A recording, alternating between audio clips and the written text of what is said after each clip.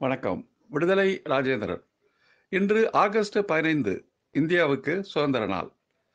இந்தியாவின் தேசத்தந்தை என்று புகழப்படுகிற காந்தியார் சுதந்திர நாளில் நினைவுகூரப்படுகிறார் ஆனால் தமிழ்நாட்டில் காவல்துறை காந்தியாரை எப்படி மதித்திருக்கிறது என்பதற்கான ஒரு செய்தியை இன்றைய நாளில் பகிர்ந்து கொள்வது சரியாக இருக்கும் என்று நான் கருதுகிறேன்.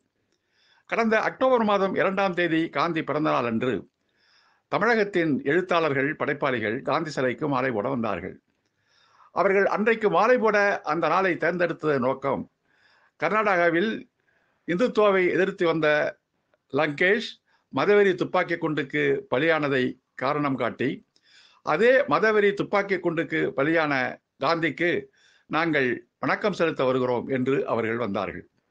ஆனால் காவல்துறை காந்தி பிறந்த நாளான அக்டோபர் இரண்டாம் தேதி இந்தியாவின் தேசிய விடுமுறை அறிவிக்கப்பட்டு காந்தியை மதித்த அந்த நாளில் காந்தி சிலைக்கு மாலை போடக்கூடாது என்று தடுத்த ஒரு அதிசயம் தமிழ்நாட்டில் அரங்கேறியது.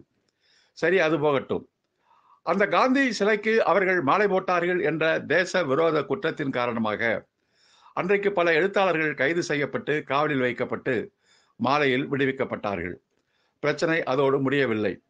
இப்போது அக்டோபர் இரண்டாம் தேதி மெரினாவில் இருக்கிற காந்தி சிலைக்கு மாலை போட்ட எழுத்தாளர்கள் சிந்தனையாளர்கள் மீது காம காவல்துறை வழக்கு பதிவு செய்து அவர்களுக்கு சம்மன் அனுப்பி இருக்கிறது என்பதுதான் இந்த சுதந்திர நாளில் தமிழ்நாட்டுக்கு மக்களுக்கு நாம் விடுக்கின்ற ஒரு செய்தி. பெரியார் சிலைக்கு மாலை அணிவித்தால் கைது. காந்தி சிலைக்கு காந்தி பிறந்த நாளில் அதுவும் தேசத்தந்தை என்று அறிவிக்கப்பட்ட தலைவரின் பிறந்த நாளில் மாலை அணிவித்தால் நீதிமன்றத்தில் வழக்கு. இதுதான் தமிழ்நாட்டில் இன்றைக்கு காவல்துறை செயல்பட்டு கொண்டிருக்கின்ற தேசபக்தியான நடவடிக்கைகள். சிந்திப்போம். நன்றி. வணக்கம்.